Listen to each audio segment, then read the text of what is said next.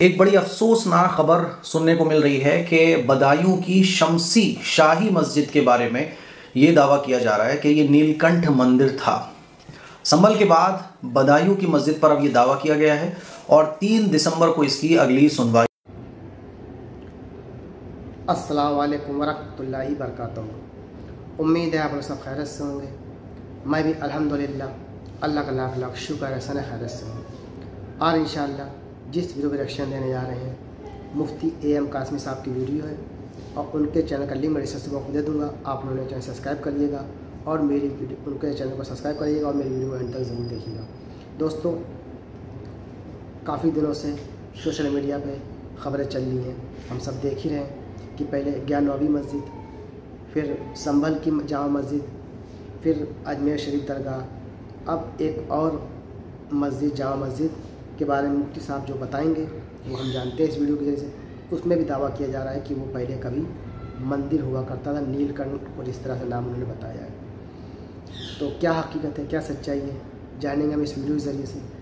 और दोस्तों, ये सब हालात क्यों पैदा हो रहे हैं? हमने कभी सोचा है, गौर किया है कि इस वक्त के हालात बड़े नाजुक हालात हैं, ख़ास करके मुसलमानों के लिए। पूरी दुनिया में हर तरफ़ मतलब बस सिर्फ़ मुसलमान मुसलमान। तो आइए पहले हम लोग वीडियो देखते हैं, फिर उसके बाद करते हैं तो आपको भी समझ में आएगा कि कौन सी मस्जिद है जिसको मंदिर का दावा किया जा रहा है और उसकी सुनवाई तीन दिसंबर को होगी। तो वीडियो अच्छी लगा कर दोस्तों शेयर किया करिए और जो भी हज़रत मेरे चैनल पर नए आते हैं, वो सब्सक्राइब किया करें। दूसरी बात, मेरा एक चैनल और है जिसके बारे में मैंने सोचा आप लोगों से बता दूँ।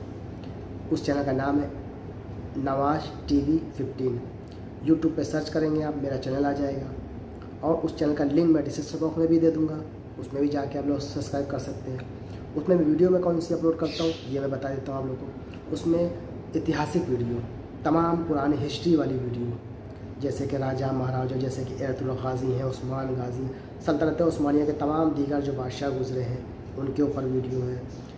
सैयद सल्तनत के जो बादशाह गुजरे उनके ऊपर वीडियो है। हमारे इंडिया में जो मुग़ल बादशाह गुजरे हैं, उनके ऊपर वीडियो और दीगर तमाम मतलब ऐतिहासिक वीडियो हैं, जिसको भी हिस्ट्री में इंटरेस्ट है, उसके लिए ये वीडियो बड़ी अच्छी है नॉलेज वाली वीडियो है तो आप लोग उसको सब्सक्राइब करिएगा। और मेरा ये जो चैनल है इस्लामिक इसको भी ज़रूर सब्सक्राइब किया क्योंकि इस्लाम सबसे पहले है। तो ये बात आप लोगों से बतानी थी। तो चलिए आइए हम लोग मुफ्ती एम कासमी साहब की बातें सुनते हैं, कि वो क्या कहना चाह रहे हैं, और उस पर कोशिश करिएगा दोस्तों, अमल करने की। तो चलिए वीडियो स्टार्ट करते हैं, फिर बात करते हैं। अस्सलाम वालेकुम वरहमतुल्लाहि वबरकातुहू एक बड़ी अफसोसनाक खबर सुनने को मिल रही है कि बदायूं की शमसी शाही मस्जिद के बारे में ये दावा किया जा रहा है कि ये नीलकंठ मंदिर था। संभल के बाद बदायूं की मस्जिद पर अब ये दावा किया गया है और तीन दिसंबर को इसकी अगली सुनवाई होगी। ये बहुत अफसोसनाक खबर आज सोशल मीडिया पे चल रही है। बदायूं में जो जामा मस्जिद है तो इसके बारे में जो हिंदू महासभा है तो हिंदू महासभा के संयोजक मुकेश पटेल और कुछ लोगों ने अदालत में 2022 में ये दावा किया था कि बदायूं शहर में मौजूद जामा मस्जिद की जो जगह है, वो पहले नीलकंठ महादेव का मंदिर था। हिंदू पक्ष ने अदालत में पिटिशन जो दायर की, उसमें उन्होंने ये रिक्वेस्ट की कि उनको पूजा अर्चना की इजाज़त दी जाए।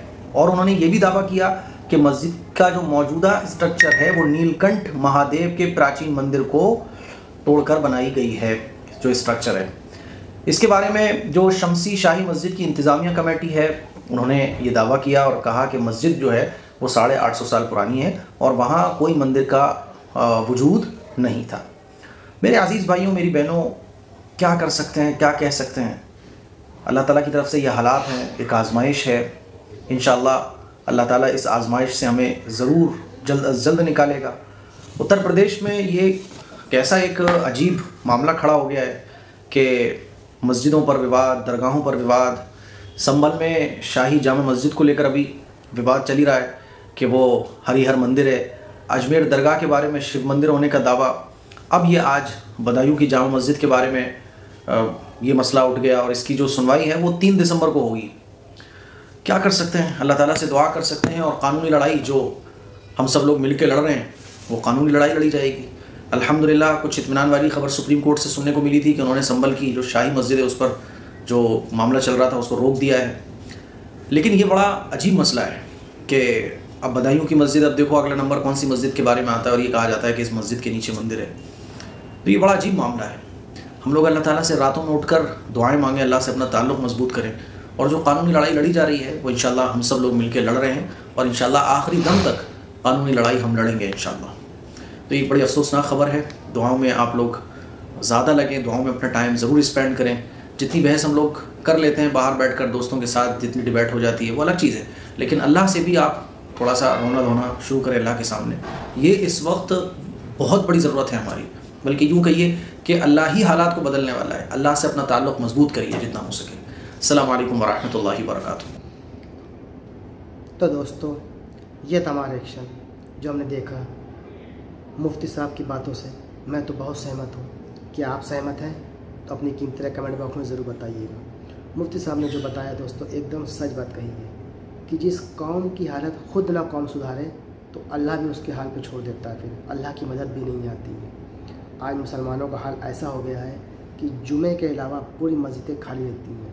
पहली सब भर जाए, बहुत बड़ी बात है, दूसरी सब तो खूब आती छोड़ दीजिए आप। मुसलमानों के अंदर तमाम बुराइयाँ पैदा हो चुकी हैं। नमाजी नहीं है। झूठ, मक्कारी, चुगली, गाली गलौज, ये सब आम बातें हो गई हैं। और रिस्क, किसका पाए, किसका मार ले पैसा, ये तमाम चीज़ें मुसलमानों के अंदर मिक्स हो गई हैं। और जब तक ये सबसे दूर नहीं होंगे, हम तोबा नहीं करेंगे, अल्लाह की रस्सी को मजबूती से नहीं पकड़ेंगे, तब तक अल्लाह की मदद कैसे आएगी दोस्तों? अल्लाह की मदद तभी आएगी जब हम लोग अल्लाह की बात मानेंगे तो अल्लाह भी हमारी बात मानेगा। तो हम सबको चाहिए अपने हालातों पर गौर करें, अपने आप पे गौर करें, अपने अंदर जो कमियाँ हैं उसको दूर करें, अल्लाह के रजू हो जाएँ, सजदे में गिर जाएँ, अपने गुनाहों को माफ़ी मांगें, याद कर कर के अपने जो भी गुनाह किए हैं, अल्लाह से तोबा कर लें इन अल्लाह ही माफ़ करेगा और फिर इन शाला सब कुछ ठीक हो जाए, क्योंकि हालात को बदलने वाला सिर्फ़ अल्लाह है। अल्लाह के सिवा कोई नहीं कुछ कर सकता। ठीक है? और इस वक्त के हालात तो बड़े नाजुक चल रहे हैं। तो हमको चाहिए कि अल्लाह से जितना हो सके मांगे, दुआओं मांगे, इबादत करें, खूब नमाज़ें पढ़ें, ख़ुद भी नमाज़ पढ़ें, दूसरों की नमाज़ की दावत दें, दीन की दावत दें। तो ये सब अच्छे काम करेंगे तो इन ने चाहते हालात बदलते हुए वक्त नहीं लगेगा और हालात इन ने चाहते बदल जाएँगे।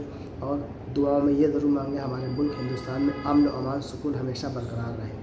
और पूरी दुनिया में भी इस तरह से हालात जो चल रहे हैं आजकल के, वो भी अल्लाह करें, सब ठीक हो जाए।